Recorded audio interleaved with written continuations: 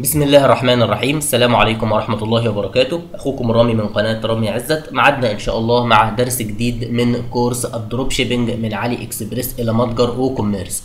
في الدرس الماضي الحمد لله كان آخر درس في إعدادات السيم وشرحنا عمل ال footer والصب فوتر وبنرات الدفع للمتجر بتاعنا.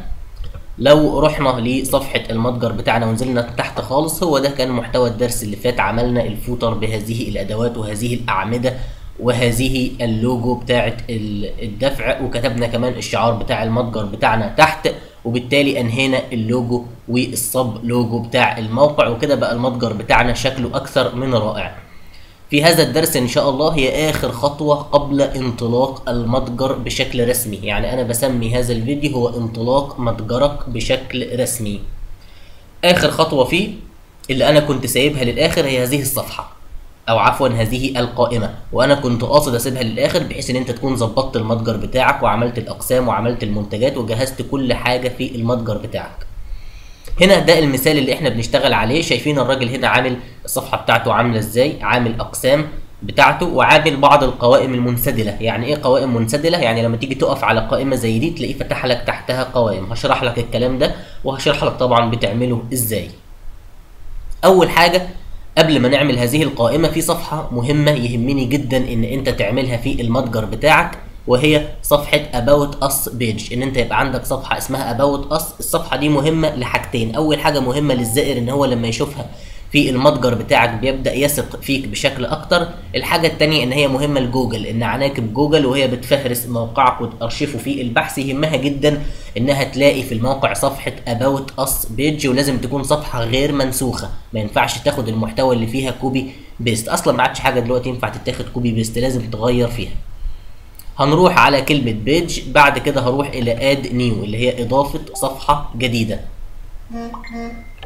عنوان الصفحة هكتب about us. آه بعد كده في خلال الصفحة هنا انت يفضل ان انت تكتب بعض المعلومات عن متجرك. أقوى المعلومات تجيبها منين؟ تجيبها عن طريق ال spying بمنتهى البساطة عن طريق التجسس. يعني إيه؟ يعني لو المتجر بتاعك انت خاص بال dog niche أنا ما أقدرش اديك عبارات ثابتة تكتبها لأن ال niche بتاعتي أكيد مختلفة عن ال niche بتاعتك. وبالتالي انت لو المتجر بتاعك خاص مثلا بال dogs عادي جدا. روح على جوجل واكتب dogs stores متاجر للكلاب تمام؟ اكتب dogs stores. هيجيب لك صفحة هيجيب لك صفحات لمتاجر. افتحها وهات about us page عنده. سواء بقى كان شغال هو Shopify كان شغال WooCommerce كان شغال بأي طريقة. المهم شوف صفحة about us page اللي عنده إيه هي وحاول تعمل محتوى قريب منها. يعني في بعض الناس بتبقى كاتبة هنا قصص وروايات أصلا هي غير حقيقية. يقول لك أنا من وأنا عندي 18 سنة فتحت ما فتح كان عندي مزرعة حلم إن أنا يبقى عندي مزرعة كلاب ووصلت لمزرعة كلاب وبقى عندي فيها مش عارف كام ألف كلب وما أعرف وقعد يكتب القصص بتاعته. وإن أنا فتحت مول كبير وخاص ببيع متاجر الكلاب والمتجر الأونلاين ده له فالكلام ده بيدي ثقة إن الشخص ده آه ده فاهم في المنتجات ده لو سألته هيرد عليا. يعني في ناس بتشتغل بهذه الطريقة. فأنت بمنتهى البساطة اشتغل عن طريق ال spying. أنا هنا بفضل إن about us page تعمل add media يعني إضافة صورة وتختار صورة من المتجر بتاعك. طبعا يكون ليها علاقة بال niche بتاعتك يعني teeth whitening تبييض الاسنان يبقى اختار صورة يكون ليها علاقة خاصة بال teeth whitening. الصورة تكون أنت جايبها بأي طريقة أنت بتفضلها. أنا مثلا هختار صورة زي دي تنزل تحت هنا وتيجي من ال alignment تخليها left إن الصورة تظهر على اليسار بحيث الكلام اللي أنت كاتبه هو اللي هيظهر آه على اليمين وتعمل insert to page كده تم وضع الصورة داخل آه الصفحة بتاعتك. تمام؟ وبتكتب المحتوى اللي أنت حابب إن أنت تكتبه. بعد كده بتعمل publish وأهم حاجة في المحتوى اللي أنت هتكتبه في هذه الصفحة إن أنت تكون كاتب إن المتجر بتاعك بيعرض worldwide free shipping يعني شحن مجاني للعالم كله. تبقى كاتب إن أنت هتعمل shipping لل item في شحن للسلعة في خلال 2 business day في خلال يومين عمل أو 3 business day 3 أيام عمل. ده طبعا هو الأفضل وتبقى كاتب طبعا إن أنت هتديله tracking code خاص بالسلعة بتاعته. مع ثلاث أو أربع جمل مش لازم تطول قوي يعني ثلاث أو أربع جمل عن المنتج بتاعك بحيث إن about us page كلها تبقى عبارة عن سبع ثمان أسطر عادي جدا. آه، بعد كده تعمل publish وبالتالي بيتم نشر الصفحة. تمام؟ لما تيجي تفتح آه، link الصفحة اللي هي about us page تلاقي فيها الصورة اللي انت حطيتها وهنا طبعا الكلام اللي انت آه، كتبته. وقلت إن أنا مش هديك نموذج ثابت للكلام لأنه بيختلف من niche لأخرى ولأن جوجل أصلا بيمنع حتة آه، لو انت عملت copy أو paste في صفحة about us مش هتتارشف كويس في محركات البحث. طيب عملنا صفحة about us إزاي بقى نروح نعمل منيو زي دي؟ لأن لو رحت للمتجر بتاعي هتلاقي هنا المنيو شكلها مش كويس حتى ومش مرتب. يعني كلمة home دي أنا عاوز أحطها في الأول، كلمة shop عاوز أغير اسمها أخليها مثلا my products category يعني أخليها خاصة بالصفحة أو يعني خاصة أكتر تبان أكتر كشكل متجر. هروح ل آه، لوحة تحكم ال WordPress اللي عندي بعد كده هروح على كلمة appearance ومن appearance هروح على menus اللي هي القوائم بعد كده هعمل a new menu إن أنا عاوز أعمل قائمة جديدة. سميها أي اسم لأن اسمها مش هيظهر بره. أنا هسميها مثلا main menu. يعني هسميني دي القائمة الرئيسية. وأبدأ أعمل create menu. أنا عشان أظهرها هنا يعني عشان المنيو دي تظهر هنا لازم أسميها ال main menu اللي هي القائمة الأساسية مش مش مش من عفوا ال top menu. إن أنا أجي من هنا يعني أحدد على top menu. أنا هحدد على top menu وهحدد على primary menu. ده شيء مهم جدا top menu تحديدا. وتبدأ أنت تختار أنت عاوز تحطه إيه في القائمة. هل عاوز تحط صفحات؟ هل عاوز تحط posts ات؟ عاوز تحط منتجات؟ عاوز تحط custom link عاوز تحط categories أقسام المنتجات؟ اللي أنت حابب تحطه في القائمة تبدأ إن أنت تضعه. عادي جدا. تمام؟ أنا مثلا هختار صفحة home about us أهم حاجة مهمة إن أنت تحطها زي ما قلنا عشان عناكب جوجل. هختار my my account هختار checkout cart هختار برضو shop بعد كده هبدأ أعمل add to menu إن أنا أضيفهم إلى آه، القائمة اللي عندي. هيتضافوا قدامي زي ما حضراتكم شايفين. لازم أبدأ أرتب فيهم. يعني صفحة home دي تخليها أول حاجة خالص عشان ترجعك للصفحة الرئيسية. about us تخليها آخر حاجة. shop تخليها التانية. أنا عاوز أغير كلمة shop. هخليها مثلا my products my أو هسميها products بس. المنتجات. تمام؟ المنتجات اللي موجودة في آه المتجر. تمام كده؟ اسمها اتغير إلى products يعني منتجات. هاجي من هنا بقى. ال products المنتجات اللي موجودة عندي أو من product categories ال category بتاعة ال product ممكن دول كلهم أنا يعني كل ال category دي أضيفها. أعمل add to menu لكن الأقسام اللي عندي دي ما ينفعش إن الصفحة يعني شوف الصفحة اللي هنا دي المنظر ده أو ال- المحتوى اللي هو هنا عدد القوائم دي آخرها هتشيل سبعة أو ثمانية ما أقدرش إن أنا أحط فيها طبعا العدد ده كله.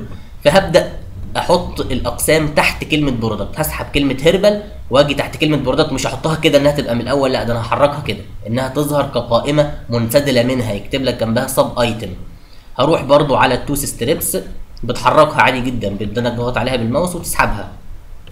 فالموضوع يعني سهل. يبقى إحنا كده عملنا إن product هتظهر كقائمة منسدله اللي يجي يقف عليها في المتجر بتاعنا يلاقي الحاجات دي كلها طلعت تحتها وعملت home وعملت my account checkout cart about أصلا في طريقة تانية تعمل بيها ال main menu.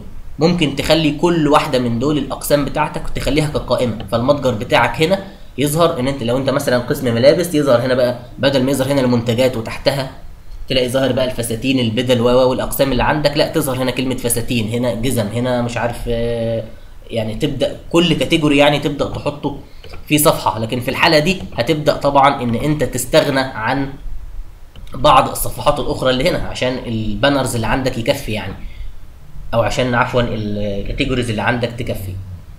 أنا هنا خلاص هكتفي بهذا الجزء.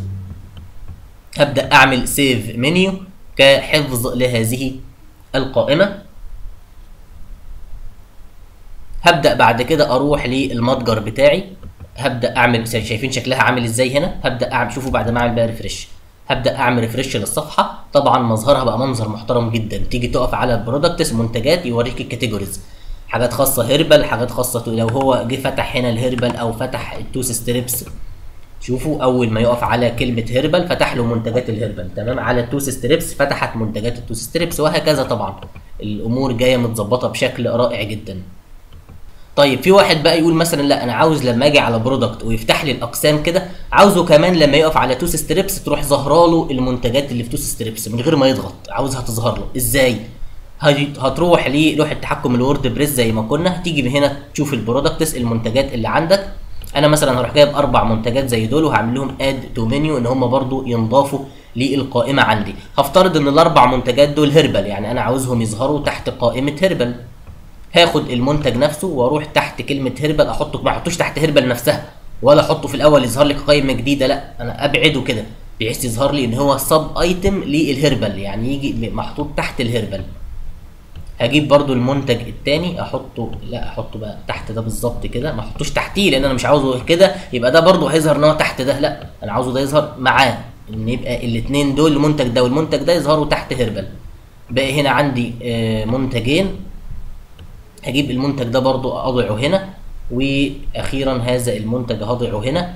يبان لي كده اتأكد إن الأربع منتجات الح- الحرف بتاعهم كده ثابت إن هم مندرجين تحت هربل. وهاجي هنا هبدأ أعمل سيف منيو آه بعد كده هروح للصفحة الرئيسية بتاعة المتجر بتاعي وأبدأ أعمل refresh أنت كنت هنا لما تقف على product وتروح على herbal مفيش حاجة بتحصل. شوف بقى دلوقتي بعد لما أعمل refresh تيجي تقف على product تلاقي كلمة herbal نفسها بقى في سهم أهو. يعني في سهم جنب herbal تقف على herbal تلاقي المنتجات بتاعته ظهرت هنا. تقف على ال teeth strips مش هيظهر لك حاجة لأن أنت مش حاطط حاجة تحت ال teeth strips. herbal يظهر لك المنتجات بتاعت ال herbal هنا. عاوز حاجات تحت ال teeth strips بنفس الطريقة. هتروح هنا هتختار بعض ال product اللي هي تندرج تحت category ال teeth strips وتبدأ تاخدها للمتجر بتاعك وتبدأ تحطها في قائمة منسدله تحت ال teeth strips. وهكذا. بحيث تيجي هنا لما تقف على product كل category كمان من دول أنت تقف عليه هيبدأ إن هو يظهر لك المنتجات اللي فيه. هنا لأن أنا طبقتها على herbal بس فظاهر لك المنتجات بتاعت herbal. أنت عندك طبقها على كله. بعد ما تنهي هذه الخطوة كده يعني أنا خلاص بقى يبقى ضميري مستريح. كورس ال- ال WooCommerce مش هقول إن هو انتهى لا إحنا باقي إن شاء الله اتنين فيديو.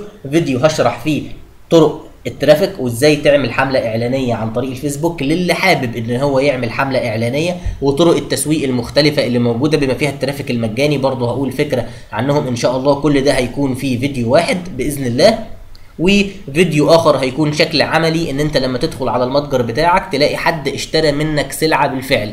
تعمل إيه وإزاي تروح لعلي إكسبريس وتشتري له السلعة بتاعته وتشحن له السلعة بتاعته. في نهاية هذا الفيديو أتمنى من حضراتكم قبل ما تقفلوا هذا الفيديو تعملوا سبسكرايب للقناة بتاعتنا قناة رامي عزت للشروحات وكل ما هو حصري إن شاء الله هتلاقوه هتلاقوه موجود عندنا في القناة. أشكركم شكرا جزيلا. كان معاكم أخوكم رامي من قناة رامي عزت. والسلام عليكم ورحمة الله وبركاته.